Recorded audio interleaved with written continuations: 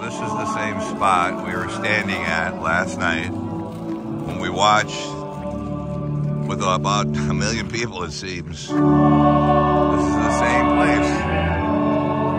And now you can see uh, they're getting ready already again for another procession and another day here, but quite a different look today than yesterday.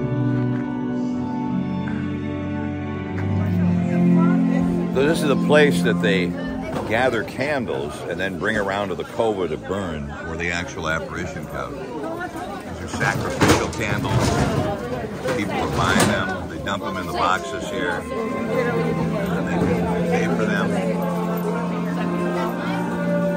And uh, offer them up as an offering over here as we uh, get ready for the next phase of May 13th, which is many rosaries many masses on the day that Mary appeared, right over here.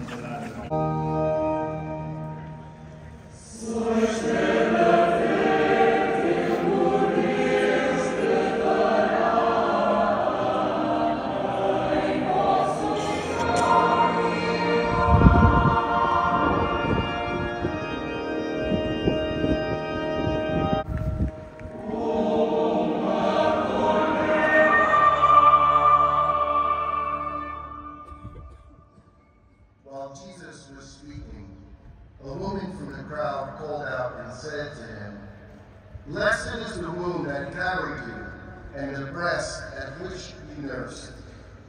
He replied, Rather blessed are those who hear the word of God and observe it. Hallelujah.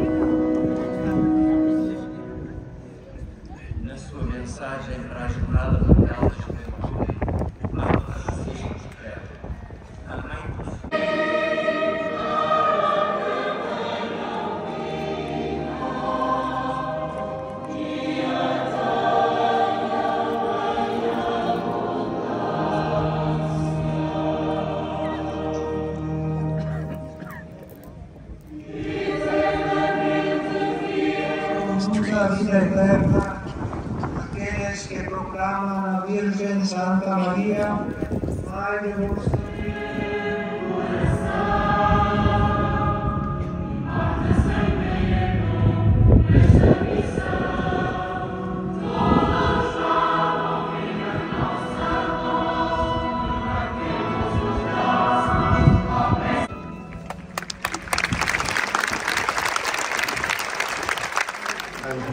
So we're back in our favorite restaurant here, um, the Tabanera Portuguesa, and everybody's walking back uh, from the square where Mass and the Rosary was on the feast day.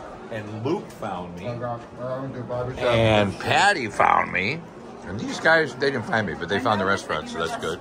So we're celebrating birthday dinner and lunch here, and then uh, we're going to be probably taking naps. But every, there, all the hundreds of thousands of people who are here are exiting now and uh, getting back to their homes. Most of them live You guys do. within a day's drive of That's of. Portugal. Yesterday we mostly just spent time in Fatima. Way down here. There's Mary.